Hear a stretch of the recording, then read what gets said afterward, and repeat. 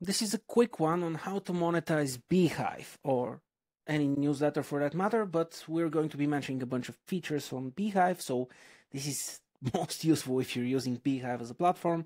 If you're using Kit, which is the biggest other competitor to Beehiiv, uh, you will have most of the same features with different names. You'll figure out the buttons yourself, but the main idea is exactly the same.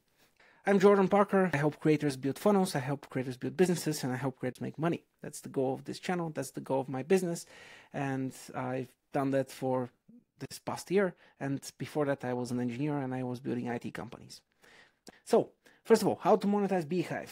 Option number one, you can sell CPM ads. And this comes from a Reddit answer that I wrote earlier today. And I just decided to make a video because not all everyone is going to find the random Reddit answer somewhere.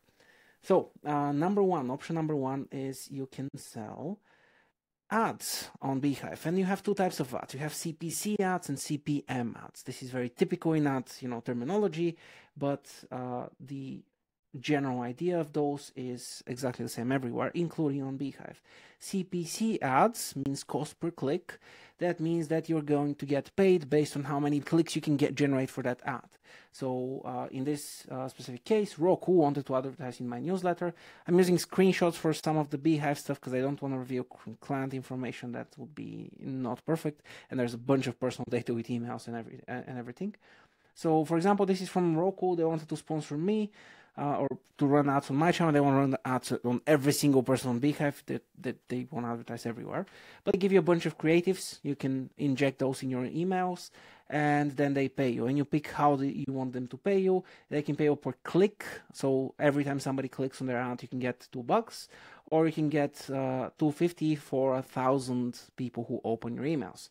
Click tracking is generally way better uh, in pretty much every newsletter I've run, uh, getting people like writing an email with the purpose of people clicking the link and getting people to, to click the link will get you 1 to 2% click rates. 1 to 2% click rates usually result in more cash compared to uh, whatever you're going to get from CPMs in pretty much any newsletter you can imagine because you need a thousand opens if you get um, you know one one of them to click the link you're already making mostly the same cash. You need one and a fourth people to to click the link to make the same money from clicks. So use click ads but you have both options. If no one clicks your newsletters then maybe the cpm is a better option. Uh, it's there if you need it but in general you know cpc is better. Write an email that sells the ad and you know people will click the ad more and you can get decent money. Like you can get to a few hundred bucks percent if you use those. Uh, like if you have one percent click rate and you have a thousand, a thousand, so you have a thousand subs times one percent uh, click rate, and then uh, we have forty percent open rate. So that would be uh, like four clicks in total. So for a thousand subs percent, you're going to make like eight bucks, which isn't insane. But if you have you know ten thousand subs, that that becomes eighty. If you if you have fifty thousand, uh, that becomes uh, four hundred, and so on and so forth mental math is hard. I know I'm forcing myself to do it in, in those videos. Anyway, you get the idea. And uh, this can be a very nice uh, source of extra revenue. I would use this uh, if you have, you know, a huge open rate. If you're sending weekly, for example, uh, you get high open rates, you get high click rates, you can get some decent cash from this. And it's not really a lot of extra effort, so it's just a bonus, whatever you make. So that's nice. Um, um, so I gave two examples here. So so with a 30k newsletter, mm, you'd you'd make about 50 bucks from one email blast, and with a 30k newsletter, you get about 200 from uh, from clicks. So clicks are generally better, but it depends. Like it depends on context, depends on how good you are on getting people to click, and so on. But very very easy to test. So just run run a couple of ads and see. Um, not every ad, uh, not every newsletter has an ad network, but you can find ad companies that can work with any newsletter, even if you're not using Beehiiv. Next, paid subscriptions through Beehiiv specifically. Uh, Beehiiv has this thing called Boosts. Uh, screenshot it here. Uh, called paid subscription tiers, and you can create as many tiers as you want. I think they were limited to three and then five, and I think they're unlimited now. Whatever the case, you can create premium tiers of your subscription. Uh, this in this specific example, we have a premium tier of 97 bucks a month and 97 70 per year. This is uh, pricey. Like not every newsletter can pull that off. So a lot of newsletters will struggle, but you can uh, you can very much go get away with 10 bucks per month or, or 50 bucks per month even with many newsletters. You can see uh, people on Substack doing this. Substack has this feature built in as well, and this is how they monetize. So if you just want to sell premium tiers, you can run through Substack, and Substack will not charge you any monthly fee. They'll just get a percentage of that, which is very expensive later on, but early on when you're starting out, it's perfect because you don't you're not paying any money off pocket. You can just use the platform for free. Uh, those pay tiers can be very uh, alluring, of course, because you're getting monthly, you know, payments, very stable, very nice. But of of course, you have to get people to stay to like to stick in them. Like they need to have a reason to actually pay you every month and not just once. So to make sure that this happens, you have to offer something of value every month. You have you have to have you know premium emails. You have to have mini courses. You have to give them some access to something that they want. Otherwise, you're not going to see a lot of success with that. But it's there, and it can be very very very nice as a business model, and it's very stable, unlike most other business models uh, like most monetization methods. You can make uh, send a newsletter, you can get very low opens, you can get listed as spam, and suddenly you don't get any, you know, you don't get any ad sales. But here, you you know, even if one of your uh, newsletters gets goes to spam, you still you still make your money, which is nice. Uh, so. Next, we have boosts. Boosts are very, very similar to ads. In fact, they are ads. They're just advertising other newsletters. This is a screenshot of the boost uh, marketplace you can see a lot of ai and crypto stuff as everywhere. But basically uh, people pay you money for every subscriber you send to their newsletter. So if you find a newsletter that your audience might like you can just advertise that newsletter it works exactly the same way as ads and you get paid for every person who subscribes to that newsletter. Um, that's the that's the general premise. It is a fine thing it, it's okay i have i've used the boosts uh, for my own newsletter for growth some varying results there. So there was a, a lot of spammy, uh, like people who were exploiting the system and sending me spam emails. They're obviously not, not being used, but this can be a nice way to make a little bit of extra cash. And uh, if you've picked the newsletters well, you can partner with them long term. Let's say you send. you partner with a newsletter and you send them new subs, you know, every week, every month, whatever. And you and every time you send an email, you get a bunch of extra change from from the people who subscribe to theirs. Uh, once you get to some, uh, you know, higher numbers with your newsletter, this can be a meaningful amount of money, which can be great. Uh, next, we have uh, access. We can sell access. And uh, you can see people calling access many different things. You can see people calling access uh, coaching consulting mentoring whatever. I just call it access because it's people getting access to you. They can talk to you. They can ask you questions. They can do some activity with you. Whatever that is uh, we've seen we've seen a lot of examples. Now, selling access is fantastic. It's great because you don't need much to create that. You don't need to create a super fancy system. You don't need to create super many sales pages. You just need a scheduling link and you know something to get money from. My favorite way of doing this is Cal, Cal.com. I'm not affiliated with them. I should be. I mention them all the time, but they haven't called me yet. I have no idea why, but they will soon. They'll give me half of the company probably. They should. I'm amazing. Uh, anyway, Cal is a, is a great place. Uh, it's like Calendly, but better. Uh, I, one, I like the team way better. Two, they're open source, so you can host them yourself, which is something that I appreciate because uh, the open source community is a very nice community of engineers. Uh, and three, they have a lot of features and it's very free. And they had a killer call to action in, in their buttons, so their marketing was cool. So very cool company. I like the company anyway, I, I, like companies. I am I, I, really like businesses and companies and thinking and talking about businesses. Anyway, as you can see here, they have an integration with Stripe. Stripe is a payment processor. This is how you get money from people. You'll need it if even if you want to monetize through Beehiiv. So you have to manage their fantastically fun interface. It's very very fun to learn. Um, but anyhow, you you can integrate Stripe and you can uh, you can slap a price tag on any sort of meeting with you. So you send people, they pick a slot from a calendar that you adjust yourself, and then they have to pay a bunch of money so they can talk to you. And you can put whatever topic you want, whatever label you want. It can be coaching, mentoring, whatever you want. It can be let's uh, play a song together or whatever.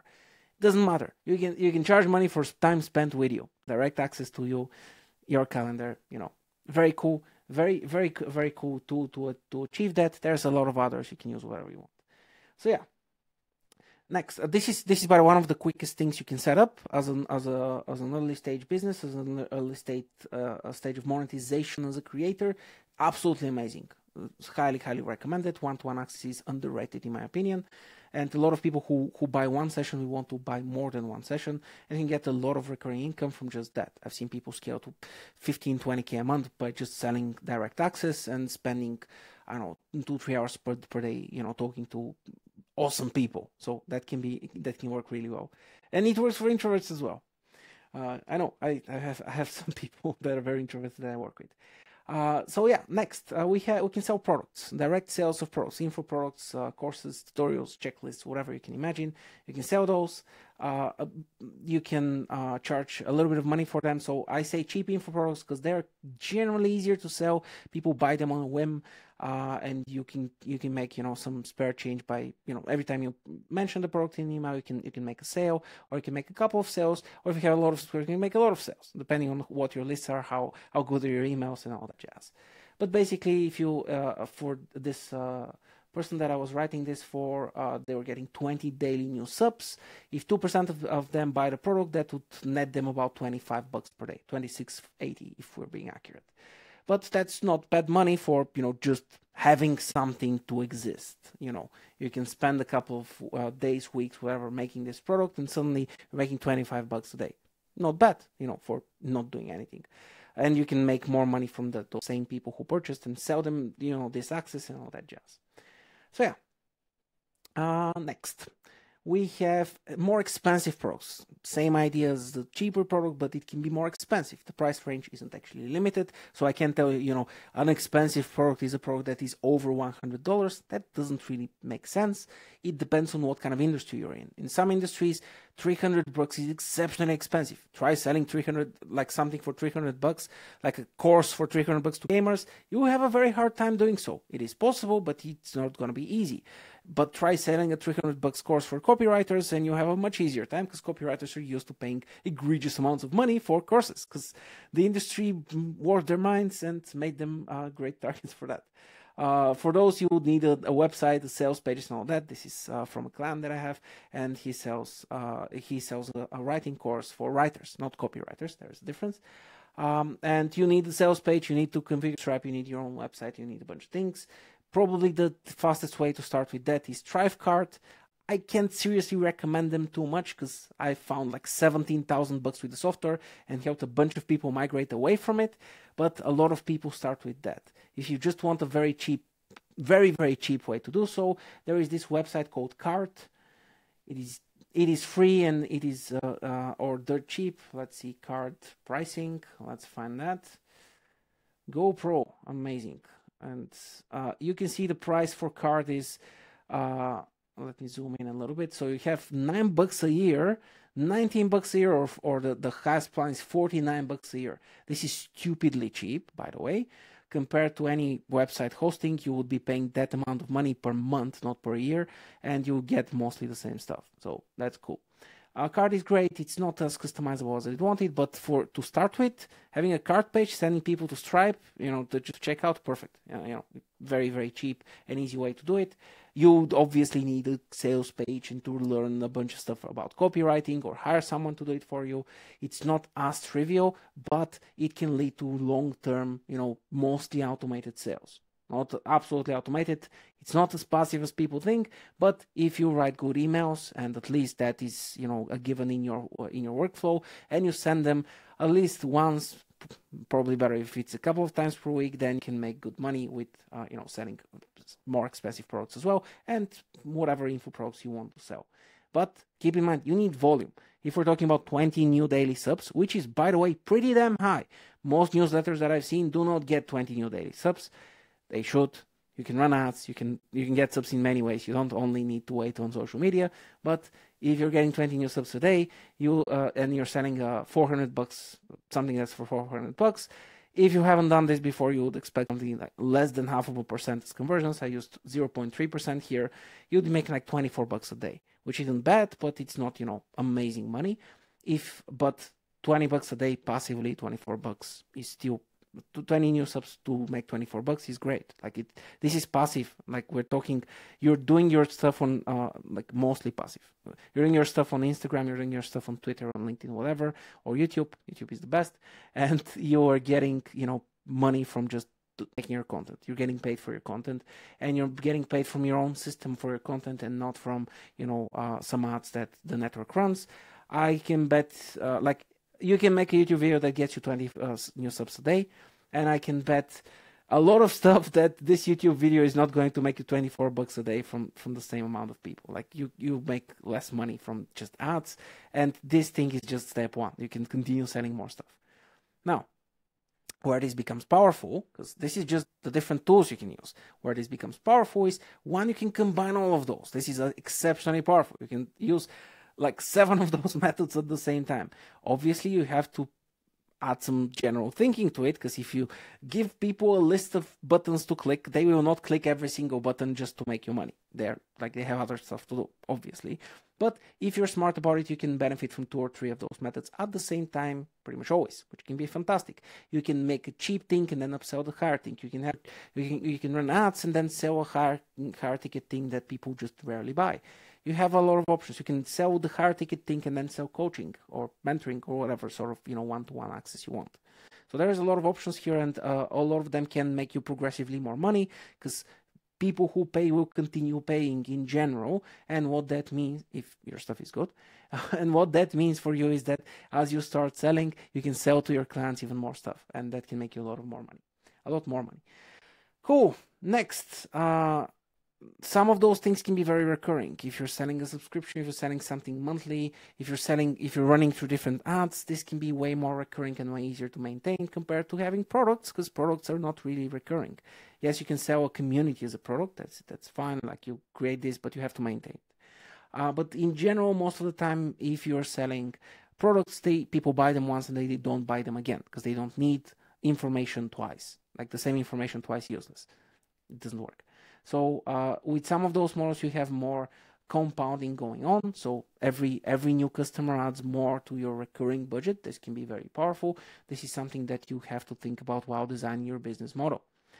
Next, uh, we have funnels. Funnels are journeys that people take. So people start somewhere on social media and they end up being a client to you and paying you hundreds of dollars or thousands of dollars or tens of thousands or millions bazillions of dollars however much you can, you can like depends on what you're helping them with. If you can cure all sickness and make them immortal they'll pay you a lot of money Anyway, the point is we want to create this journey for them. If you think about their entire journey, if, if you think about step one to step the last step or, or the second to last because they never quite end, then in, and create a com- compelling and interesting journey that people want to go through. And it's not just about you pushing your stuff to them and just asking them to buy, buy, buy. Then you can create you can create those uh, sequences of sales in which people can spend significantly more money and that, that can be wildly more profitable compared to just selling something once. So yeah, uh, finally we had an extra question here, which is uh, how long do you get ads? Like in general on Beehiiv, you probably wait like couple of weeks to get ads, but keep in mind this is the platform serving ads for you. You can email people and ask them to advertise in your newsletter. You don't need to wait for a platform. If you want to run ads, ask someone you know who has a newsletter. Say, hey man, hey hey girl, hey other gender that you prefer. Uh, I have this newsletter. I have that many subs. I have that many clicks. I have had that many opens. Come, give me some cash, and I'll let you show it. Show your audience, like write something to my audience, so they become your audience. And you know you get money they get some people everyone is having fun or you can do that for products and so on and so forth. This is by the way this is not an exhaustive list. We have affiliate marketing we have youtube ads we have so many other ways to monetize but they, those are the main ways i have seen people use on, on beehiiv and uh, the ways that i would generally recommend like for example affiliate marketing can feel a little bit sleazy nowadays. So unless it's a friend of yours, don't don't just go on cl- click farms and click whatever the site was named and, and, and just advertise a random thing. Advertise stuff that, that is worth advertising on your newsletter because otherwise you burn your reputation, your brand is destroyed, and no one wants to talk to you anymore, and you're the lonely kid at school. Also, a broke kid at school, which is not fun. Anyway, you get the general idea. Hopefully that's helpful and uh, go make some money. And if you need help, you know, send me a message, send me an email. Uh, hey, Jordan Parker on all platforms. Um, cool. Stay awesome.